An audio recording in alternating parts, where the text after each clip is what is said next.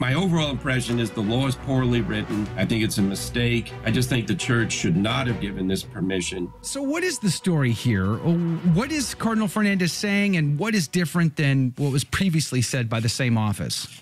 Very good. Yeah, you referenced the 2016 document. Cardinal Muller was in charge of the Congregation for the Doctrine of the Faith at that time, and they received many questions from bishops and others about the practice of cremation. So in 2016, they said uh, that burial of the body is the preferred and normal practice. Cremation can be allowed, but if it is allowed, uh, the ashes must not be scattered.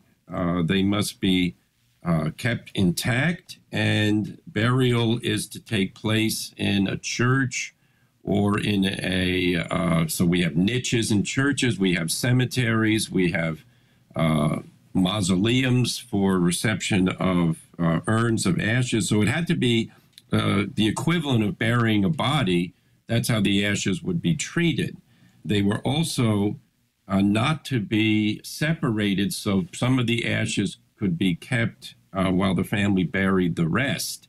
Now, they did grant an exception in 2016 uh, for the pres- preservation of ashes in a residence. So some people would be able to request for an exceptional case to preserve the ashes uh, at their home.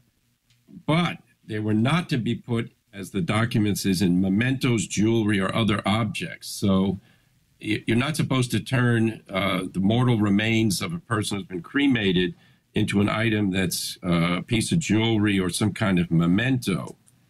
And it also said that the ashes should not be divided among family members because that, of course, is a temptation. If you can keep the ashes, why not let you know all the children have a little part of their uh, parents' uh, ashes? So all that was said. Now, what do we have? Cardinal Fernandez has changed uh, the rule. They say he said that a minimal part of the ashes can be kept in a place of significance whereas the, re- the remaining portion of the ashes must be buried in a sacred place. So, what this means is that you can take part of, you can divide the ashes up and you can bring them not necessarily to the home. That was the only exception in 2016. Now, a place of significance. Well, you know, significance to the deceased could vary. I mean, if a guy's a hunter, can he go to the hunting lodge and you know, have his ashes uh, encased in the wall. Um, seemingly, that would be permissible under this ruling. The other thing you have to say is if the previous permission was given to keep the whole urn of ashes in the home, now they're saying you can only keep part of them in the home and the rest have to go to a sacred place. Well, I can see people saying, why should I do that? You know, that's a pain in the neck. If the previous law granted an exception, uh, why can't I get take advantage of that also? Now, it's also it's said that the request has to be made to ecclesiastical authority to make this division of the ashes. But you know, people don't go to church are not going to write a letter to the bishop or the funeral home have them do that to request this permission. They're simply going to go ahead and say the funeral home, you know, please, I, I hear the Catholic Church isn't forbidding this anymore. Let's divide this up, or let's keep the whole thing. So my overall impression is the law is poorly written. I think it's a mistake. Significant place replaces sacred place uh, or home. You know, home has a certain sacrality since we are the domestic church, but to say you can have a significant place, you know, for a soccer player, they're going to say, well, I want to be buried, you know, under the uh, middle of the field. Uh, you know, a hockey player, can I ashes be encased, uh, you know, under the rink? Um, yeah, so we're trivializing the whole process by saying sacrality is not the central category here now, it's the wishes of the person. So that's one of my main objections. Now, just throw in a positive thing there is a reference to the common burial of ashes uh, in, a, in a sepulcher that the church would offer, such as you, have heard of ossuaries, where old bones are gathered together and placed together. They do that in New Orleans, they do that in other places.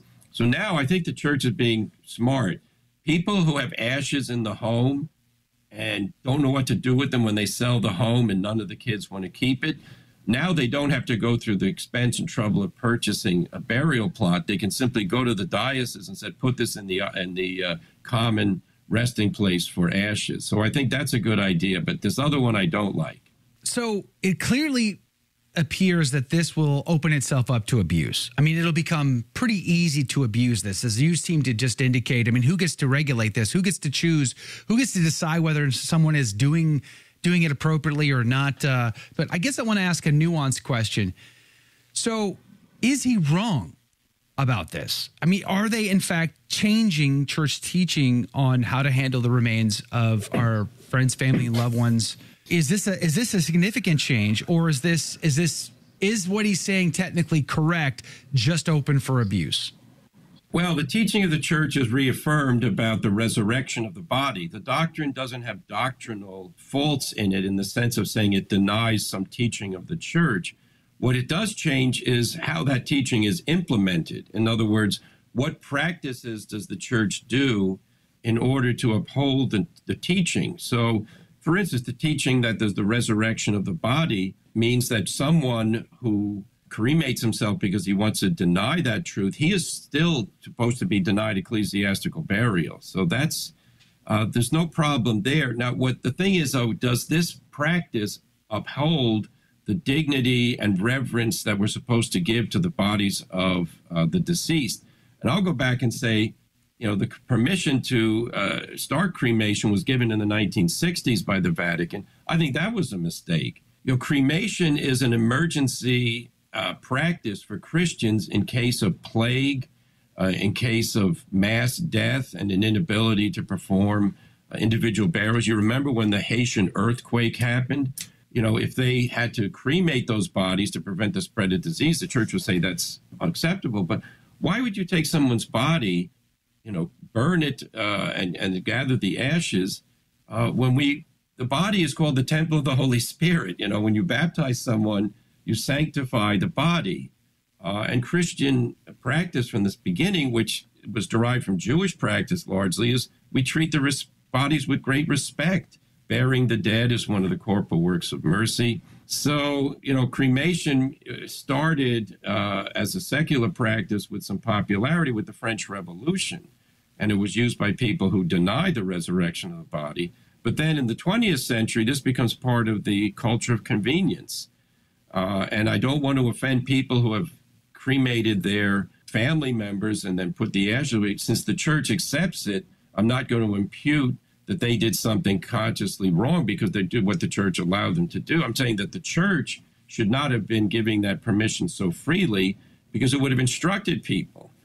And, you know, we're very aware that people choose cremation often because it's less expensive and it doesn't involve purchase of a grave you know, in the old days, the church said you can't cremate, so therefore save some money, and we the church opened cemeteries and you know tried to provide for the faithful. Now we're saying in this new document, okay, you can cremate, and then you can keep part of the body. It doesn't repeat the prohibition, by the way, of putting the ashes in mementos or jewelry. So how are you supposed to preserve a small part of the ashes? No instructions are given again, as you say, the abuse thing, we know exactly what's going to happen. There's going to be right. a picture frame company that's going to invent the, maybe it already exists, a little module at the bottom with the ashes, and there'll be a picture of Uncle Joe. And you say, Uncle Joe is still with us. And to, not only do we have his picture, we got part of his body here. Yeah. That's, yes. That's giving rise to the wrong approach to, to dealing with, you know, praying for the soul of Uncle Joe. Uh, so again, I'm uncomfortable with this, but I'm not going to accuse people who've done cremations of doing anything wrong because they were following what the church permitted. I just think the church should not have given this permission. Exactly. I think we, we give a counter message uh, about the dignity of the body. And, you know, there's a, I'll throw this in. I remember learning this in seminary. Some people say, what, what you really are is your soul, your body's the envelope. So it's like a letter, envelope, a letter, and envelope. So you get the letter, you open the envelope, you throw it away, you keep the letter.